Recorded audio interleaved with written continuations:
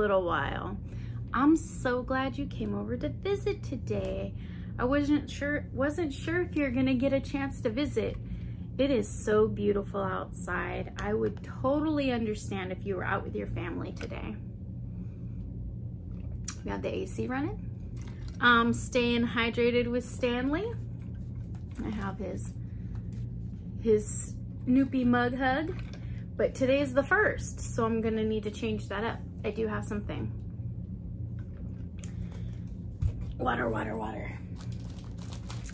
The last time you came to visit, I was showing you a, um, a treasure trove of things that I picked up from the flea market. In there was a pair of knitted slippers. Look! I finished them. I, I can't take too much credit for it. I, so they were flat, knitted flat. I sewed the end and I left this little bit of tail just to make sure that when I stitched it, if I needed to go a little further, I could accommodate that. And I stitched the back. Very, very simple slipper design. Simple slipper design. I found so many tutorials on YouTube on how to knit slippers. There's the bottom. It's got a nice little foot panel on there. Um, I think I can do it. I think I can knit slippers. And here's the other. Did the same way. Um, garter stitch. And then I see some knit purls. I, and look, it matches my top today. total coincidence, total coincidence. I will tag the pattern that I used in the description box below. If you'd like to try your hand at making some very simple slippers that would be amazing Christmas gifts or gifts to tuck away and maybe someone comes to visit and you're like, oh, your toes are cold, put these on. Or a birthday or something that comes up. It's nice to have little universal. These will stretch to any size and without stretching them. Also seen quite a few YouTube tutorials on making the slippers um, non-slippery with the little grips where you can use um, hot glue gun or the t-shirt puffy paint. It's always a fun thing to do. This is my pile of things to talk about. Uh, I went over to Hobby Lobby last week, the week before. I went when it was not 30% off and I was just scoping. I was just looking to see if they had any ra raffia, raffia for that Plarn purse that I'm still messing with. But I have an update for you. So when I got there, I always look at the crochet thread. I love that stuff.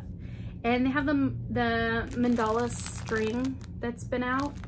It was $6.49 and I wasn't gonna splurge. I haven't seen it go on sale.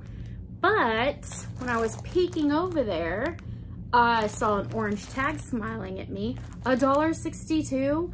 What happened, I think, was that they tried to center pull and a huge blob of it fell out and maybe the person just put it back on the shelf.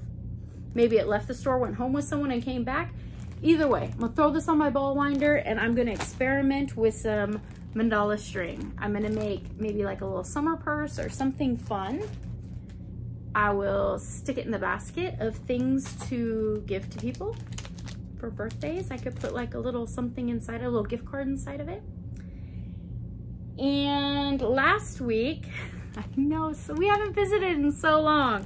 So I went to a Japanese dollar store that we have here in the Bay Area. It's called Daiso, D-A-I-S-O. So I think it's called Daiso Japan. Everything in the store is about $1.75. They have some end ups. But in their gardening section, I found flexible aluminum wire.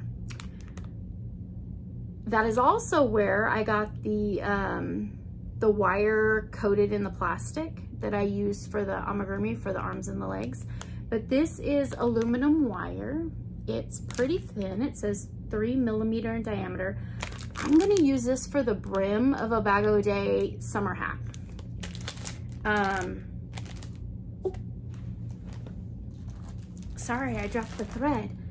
What yarn weight is, it's a one, super fun. See, I'm already finding a good use. I'm gonna have that and then that those last, I think it's the last row, use single crochet over, she says some, some wire. Brim of a hat. It's aluminum, it's super flexible. Um, if it gets accidentally bent the wrong way in a summer bag or something, then I can, I can bring it all back together, no problem. They also had at Daiso these little tiny keyring key jumpers. And I thought if I make some tiny little plushy amigurumi, I could put the little keyring jumpers and put them in the little free library. I think it'd be adorable. And there's so many colors. I could pick one that, um, that matches the little character that I put out there. So pick that up. And hold on, it's behind you. They had these little organizer baskets with little hooks on them, which slips on the side of my craft cart that you perch on when we visit. It's just the perfect little diameter just to fit over the rim of it. Super fun, super organized, the chaos, right? And the other thing that I have in this pile to talk to you about today is my fair entry tickets. Yes, so not this weekend. Last Saturday, my husband and I drove over to the next county over and I entered seven makes into the county fair. Oh, I could barely sleep the night before. I was a ball of nerves. I thought, oh, we have to get there so early in case there's a line around the block. We're gonna have to stand there and there's gonna be all these crocheters and knitters and they're all gonna be trying to get in there and submit their fair entries. We have to get there early. We woke up early, we got our coffee early, we got dressed, we got out of the house, we drove all the way over there. There was no traffic, should have been a queue, clue, and there was no traffic getting off the freeway, leading up to the fairgrounds, deserted. We parked in front of the building, nobody around. We walked in, everyone was happy and jolly and oh, hi, so good to see you. Oh, you brought your entries, how wonderful. A bunch of volunteers all standing around, all excited and happy to be a part of the fair process. Um, I took my, I got my receipt off the phone, showed them that I had seven, the categories, I turned in my items it was an awesome experience. Every there, everybody there was just happy, pleasant, eager to help. And they gave me um, these little tags that say my name on them, the entry numbers, and I entered seven of them. And I think that's pretty lucky because my numbers are, let's see, 197 up to two, wait, was it 197? Up to 201. So that's gotta be pretty lucky set of numbers. They're not lottery numbers, but you know. So I'm gonna hold on to that because I need that at the end of July to pick up my entries and bring them home. So the fair opens June 14th. That's the first day. There's drone shows every night. There's a free movie every night where families can go and sit in the bleachers or bring lawn chairs or blankets and sit and enjoy a family night with this gorgeous weather we've been having. Um, there's also concerts. You can purchase concert tickets. Um, a lot of tribute bands. Uh, what else do they have going on? They have the horse races. There's a track there. And they have, oh, the dirt bikes oh man, they set up this huge round arena dirt track. Yeah, it's a dirt track. And man, all those professional dirt bike riders are out there and then they get the BMX bikes out there. It's a lot of fun to watch. And of course we have lots of 4-H kids showing their animals out there. So for my fair entries, they said that they were judging them. That was last weekend. They were judging them last week. They do not post online. So the only way I'm gonna see how my items did is to go to the fair and look for my items. I wanna go on the first day, but the fair opens on a Friday. We work. Who's gonna go over to the fair Friday morning, be the first person in? I wanna go to the fair by myself, leave my family. I don't know what they're doing in my imagination, but leave them, go get some coffee, drive over to the fair and check my fair entries. nope, turn it off. Uh, we don't want to listen to that. Okay. Do you want to say hi? Hi. We have two bathrooms in this house. One of them is always busy. The other one's mine. so we have the um, the fair entries.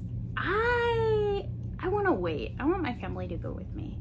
I think I want to go to the fair, go in the the afternoon after the heat dies off a little bit and maybe go watch a movie, maybe go to a concert. And then they have the whole carnival section with the fair foods and the rides and all that fun stuff.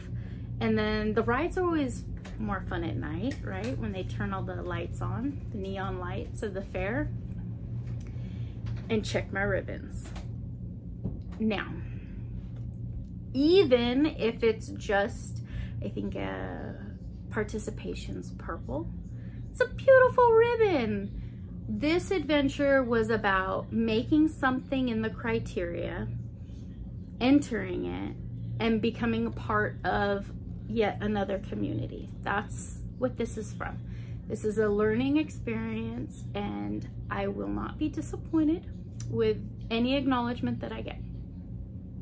Oh, I want the blue first place, at least one of them. We'll put it right here. We'll line them up. it's okay. We'll see. I'm just really excited. Really excited. And of course I invite you to go with me. Um, I think it would be fun. Maybe take a little clip if, if you want to hear the the carnival sounds and the, the fair ahs and oohs at the fair. I'll take a little video and be sure to share it with you. Um, yeah, I think that would be a really good time. Well, I have a few more things to share with you, but I've also noticed that it's important that I keep my videos somewhat on the shorter side. Um, I think that sometimes I make them way too long and then it takes up too big of a chunk of a day for you guys. So maybe we should keep our visits a little shorter and more quality visits, right? Well, what are you working on? What are you doing? It's not all about me. It's give and take. I want to know what you guys are What's in your lap? What's in your hands? How is your day going? Do you have a county fair? Have you ever entered any items into your county fair? What was your experience like? I would love to hear all about it. Please leave me a really, really long comment down below so that I can read it and ask you a million more questions. Thank you so much for visiting with me and I hope to see you again really, really soon. Bye. Take care.